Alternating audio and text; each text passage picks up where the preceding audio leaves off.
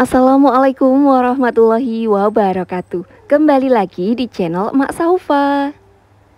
Alhamdulillah di kesempatan kali ini Mak Saufa mau sharing-sharing kegiatan Mak di hari ini. Jadi hari ini Mak Saufa tuh eh, beres-beres uh, rumah dulu ya. Karena eh, anak-anak uh, tuh sebenarnya pagi-pagi itu udah pada bangun. Cuma uh, sekitar jam 6 jam 7 tuh mereka suka tidur lagi gitu loh bun jadi ya alhamdulillah uh, Mak Saufa itu bisanya ngevlog itu kalau anak-anak posisinya udah pada tidur gitu ya bun ya. Karena kalau anak-anak lagi pada bangun itu tuh kameranya itu suka digoyang-goyang gitu. Dan ini Mak Saufa lagi bersih-bersih apa ya mainan-mainan anak-anak gitu.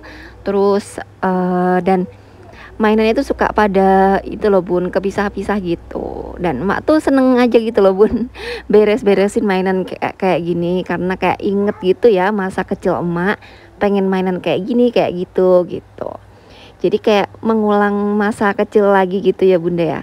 Kadang emak tuh membelikan mainan mereka itu karena emak pengen gitu loh bun. Enggak uh, ada hal-hal yang emak pengen mengulang masa kecil emak yang dulu belum kesampaian gitu dan sambil nungguin uh, si mamang dorong lewat ini mak sofa sambil ya bebersih aja gitu ya bunda ya. Alhamdulillah semenjak ada karpet gitu jadi bebersih rumah tuh nggak terlalu berat gitu ya bun ya. Karena kayak gampang aja gitu loh bun. Untuk ngepel juga lebih gampang bersihnya. Dan alhamdulillah ini si mamang dorongnya sudah lewat. Dan mak Saufa untuk hari ini tuh bingung mau masak apa uh, kayaknya mak tuh mau bikin masakan yang simple aja gitu ya bun ya. Maksudnya itu uh, masakan yang satu gitu aja uh, yang sekali masak gitu. Dan setelah berpikir Mak Saufa akhirnya memutuskan untuk hari ini tuh bikin apa ya uh, gulai telur dan juga uh, apa ya kentang. Nah ini Mak Saufa udah beli telur seperempat harganya 8000 Terus emak juga beli kentang ini satu bungkus 5000 dan untuk santannya 4000 rupiah. Jadi total belanjaan hari ini tuh 17.000 rupiah.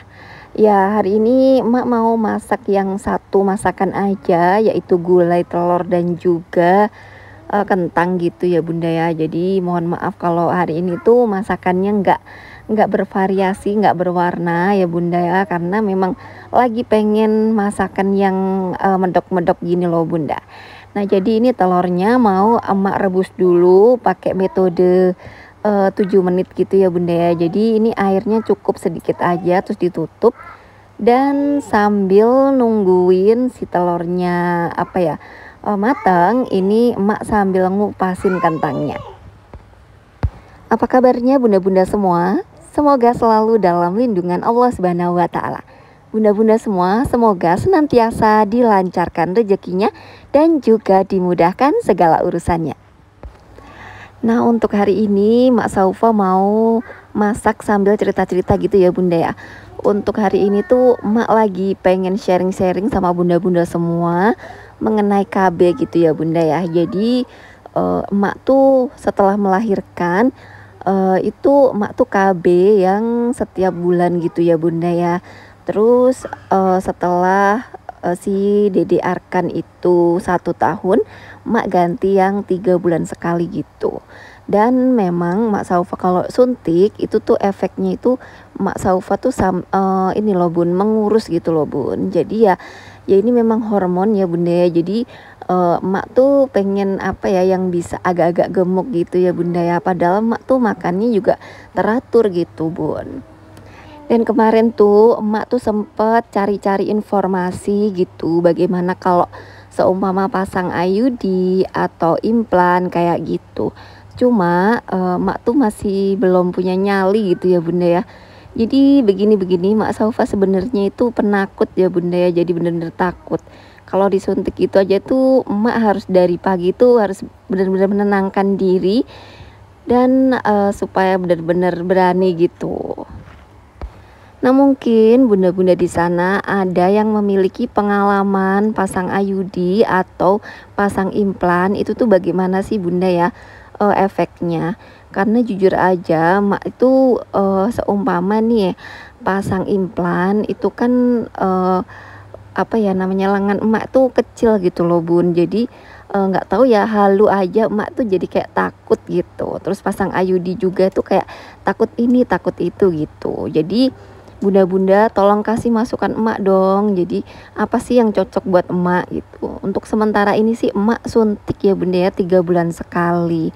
Dan uh, memang pengaruhnya bentar bentar-bentar kayak badan tuh badan rasanya nggak enak terus tapi biasanya sih emak minta kerokan gitu ya bunda ya. Jadi kalau kayak rasa masuk angin gitu emak minta kerokan kayak gitu. Terus kayak uh, badan tuh ya ngurusin kayak gini. Tapi kalau untuk haid sih alhamdulillah mak Saufa tuh uh, haidnya itu teratur. Nah kalau mak sendiri nanyain bu bidannya waktu emak suntik tiga bulan itu katanya ya udah ibu tuh uh, cocoknya suntik aja. Karena kalau uh, kayak implan gitu kan nggak boleh capek-capek nggak boleh yang banyak gerak gitu nah secara emak itu kan banyak aktivitas gitu ya bunda ya. Jadi mungkin aktivitas yang ngurusin anak beberes ini itu yang ngangkat ini itu gitu. Jadi eh, nggak uh, tahu deh. Karena memang dari dulu tuh pengen sebenarnya bunda ya. Pengen pengen. Tapi kalau inget apa ya suka nggak ada nyali gitu mak kalau mau implan atau ayudi gitu. Jadi emak mohon masukannya ya bunda-bunda ya. Kira-kira bagaimana nih pengalaman bunda-bunda Selama memasang KB gitu yang implan atau yang IUD itu bagaimana? Apakah pemasangannya itu gak serumit yang kita bayangkan atau bagaimana gitu? Jadi supaya emak tuh yakin dan e, mau melakukannya. Alhamdulillah wa syukurillah pokoknya disyukuri aja ya bunda ya. Yang penting mak Saufa pokoknya itu ya KB terus gitu bunda ya. Jadi kemarin kan sempet tuh bunda-bunda yang uh, sering ngingetin emak ya mak jangan lupa KB iya insya Allah mak Saufa KB terus ya. Soalnya si dede Arkan kan juga masih kecil gitu ya bun. Jadi di video ini emak lagi bikin apa namanya tadi gulai telur dan juga kentang. Jadi ini tadi bumbunya ada bawang merah, bawang putih, terus ada cabai merah, kemiri dan juga kunyit. Itu tuh udah mak haluskan. Dan untuk telurnya juga udah mak rebus dan untuk kentangnya juga ini sebelumnya mak rebus juga ya Bunda ya. Jadi supaya matangnya itu benar-benar matang gitu. Nah, untuk anak-anak ini udah mak gorengin ini ya Bunda ya ayam pop uh, yang kemarin mak setokan itu ya Bunda. Setelah bumbunya ini ditumis sampai wangi, sampai harum, selanjutnya masukkan air yang uh, secukupnya aja, terus masukkan kentang, telur, dan uh, tambahkan apa itu ya santan diaduk-aduk aja. Nah setelah itu ini ya bunda jangan lupa kalau semua masukin santan itu dikecilin apinya. Oh iya, apa kabarnya bunda-bunda semua? Semoga selalu dalam lindungan Allah Subhanahu wa taala. Nah bunda-bunda semua semoga senantiasa dilancarkan rezekinya dan juga dimudahkan segala urusannya. Untuk teman-teman yang selalu mendukung channel Emak Saufa, Emak ucapkan banyak terima kasih. Dan untuk yang baru bergabung, Emak ucapkan selamat datang. Jangan lupa untuk like, komen, dan juga subscribe-nya. Terima kasih. Oh iya, kemarin tuh ada ya bunda ya yang nanya resep untuk batuk dan juga pilek gitu ya bunda ya untuk dewasa jadi alhamdulillah mak tuh pakai ramuan ini dan itu tuh sangat-sangat uh, ngefek banget ya bunda ya. Jadi uh, mak cuman pakai rebusan kunyit sereh terus asem dan juga gula merah. Jadi itu direbus terus diminum anget-anget. Jadi kalau semua mau uh, kita bikin nih sepanci kecil gitu ya bunda ya. Kalau mau diminum diangetin dulu gitu. Jadi setiap kita rasa lehernya itu rasa apa namanya bahasanya itu eri gitu ya udah diminum aja. Nah kalau ada jeruk nipis bisa ditambahkan jeruk nipis juga ya bunda ya. Hmm, pasti di leher tuh langsung enak gitu. Kalau mau ditambahkan jahe pun juga nggak apa-apa. Pokoknya rimpang-rimpangan gitu ya bunda ya. Memang kalau emak pelajari dulu itu emak sempet ya bunda ya. Sempet banget. Emak tuh waktu uh, nerapin jadi setiap kali tuh minum irisan kunyit, jahe dan juga serai itu tuh disimpan gitu. Jadi rendeman airnya itu disimpan di kulkas aja. Jadi kalau setiap kita minum pakai minuman itu, itu tuh bener-bener bikin badan kita itu kayak ya enteng aja gitu loh bun. Beneran. Dulu tuh sempet emak yang menerapkan gitu terus. Tapi sekarang tuh kayak nggak pernah gitu ya bunda ya. Padahal tiap minggu tuh emak belanja rimpang-rimpangan. Kayaknya sayang banget gitu ya bunda ya kalau mengering. Kayaknya sih harus emak mulai lagi ya bunda ya. Jadi emak harus membiasakan diri lagi untuk minum rimpang-rimpangan secara kan emak ini ya bunda ya. Jadi uh, umur juga gitu terus supaya kita itu nggak simpen sampah dalam tubuh kita gitu. Katanya sih minuman itu tuh bisa uh, detoksifikasi kita gitu bun. Jadi bisa keluar lewat kotoran kita lewat air kencing kita gitu loh bun. Jadi um, kayaknya sih emak mau iniin lagi ya. Jadi memang pas batuk kemarin itu emak minum itu terus. Jadi kunyit asem cuman ditambahin sereh ditambahin pokoknya uh, segala rimpang-rimpangan gitu loh bunda. Ditambahkan jeruk nipis juga. Terus bikinnya itu sepanci kecil sekalian banyak gitu ya bunda ya. Kalau mau minum tinggal diangetin aja di kompor.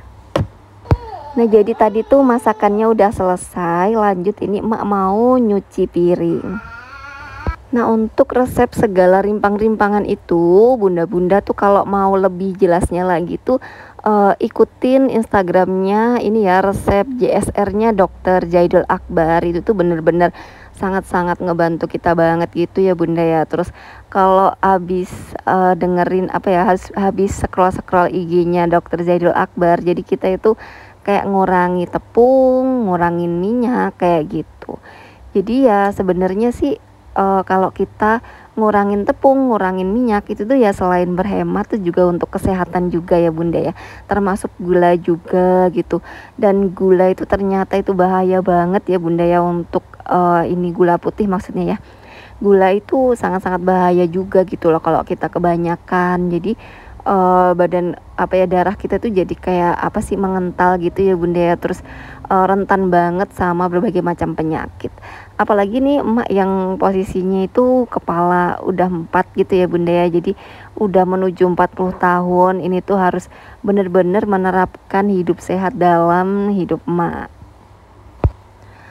Ya kita saling saling sharing aja ya bunda ya. Saling belajar bareng gitu. Ya mohon maaf kalau emak tuh ada salah-salah gitu ya bunda ya jujur aja emak tuh juga kayak uh, sambil belajar juga gitu ya bunda ya. Karena memang kalau uh, kita meskipun kita nggak tahu ya kita harus mencari tahu gitu ya bunda ya untuk bagaimana sih untuk kebaikan hidup kita itu seperti apa supaya hidup kita itu lebih baik lagi gitu loh bunda. Lebih berkembang lebih maksudnya lebih sehat juga. Terus kita juga jadi kayak apa sih namanya uh, apa ya belajar ilmu untuk sesuatu yang berguna untuk hidup kita gitu.